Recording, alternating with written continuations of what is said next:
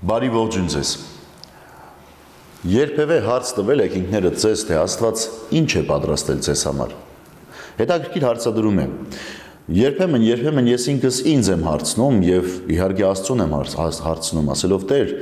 ինչ ես պատրաստել ինձ համար։ Եվ այնչափես այդ պահին հիշում եմ ավետարանական խոսքը, որտեղ Տեր Հիսուս Քրիստոս ասում է. «Ձեր օրվա հոգսը ձեզ բավարար է»։ Վաղվա օրվա մասին մի մտածեք։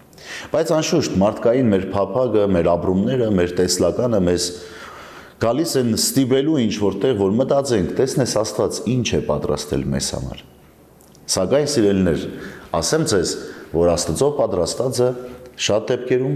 անտեսանելի է լինում մեզ։ Ինչու՞, որովհետեւ մենք կարողանանք դանդաղ եւ հասկանալով հասնել այդ իրողությանը։ Նախ եւ առաջ պետք է ասել, որ Աստված պատրաստել է մեզ համար երկնային արքայությունը։ Սա թիվ 1 պայման է։ Բայց այս կյանքում Տերը մեզ համար շատ բաներ է պատրաստել, որոնցով մենք պիտի ուրախանանք եւ երջանիկ լինենք։ Ահա ուրեմն սիրելիներ այսօրվա ընթերցման մեջ Պողոս Արաքյալը Կորինթացիներին ուղված իր առաջին նամակի մեջ խոսում է այս երևույթների մասին։ Այն մասին, թե Աստված ինչ է պատրաստել առհասարակ մեզ քրիստոնյաներիս համար։ Իմաստությունը քարոզում ենք կատարյալներին, իմաստություն, որն այս աշխարհինը չէ։ Ոչ էլ այս աշխարհի իշխաններինը, որ դեպի կորձանում են գնում, այլ քարոզում ենք Աստծո խորհրդավոր ու ծածուկ իմաստությունը, որն Աստված հավիտյաններից առաջ սահմանել էր մեր փառքի համար, որն այս աշխարհի իշխաններից ոչ մեկը չճանաչեց, որովհետև եթե ճանաչվեր, փառքի տիրոջը չէին խաչի։ Սակայն ինչպես գրված է, այն ինչ որևէ աչք չտեսավ, որևէ ականջ չլսեց եւ մարդու սրտով չանցավ, Աստված պատրաստեց իր սիրելիների համար։ Ուրեմն սիրելիներ, տեսեք ինչքան խորհրդավոր է։ Աստված պատրաստեց մեզ համար այն ամենը, ինչ մեր աչքերը չպիտի տեսներ, մեր ագաժները չպիտի լսեին։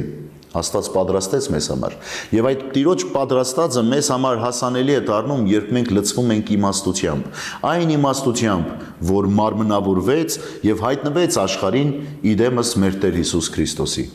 Այնպես որ երբ հարցնեք, թե Աստված ինչ է պատրաստել մեզ համար,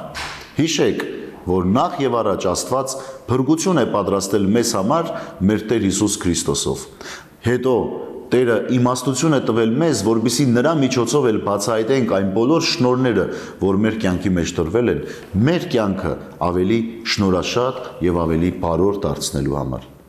Ինչ է պատրաստել Աստված ձեզ համար, պատրաստել է երջանիկ օրեր, սիրով լի օրեր, որտեղ Աստծո ներկայությունը եւ նրա հայրական խնամքը ձեզ դարձնում է Աստվածանման։ Այնպես որ սիրելիներս, այսօրվա ընթերցումն էլ սրա մասին էր։ Փնտրեք Տիրոջը, այնտեղ են ձեր բոլոր կյանքի շնորները, գաղտնիքները, խորհուրդները, որոնցով դուք կհասնեք հավիտենական կյանքին։ Բարի եւ խաղաղ օր ձեզ բոլորիդ սիրելիներ։ Աստված օրհնի ամենքիս։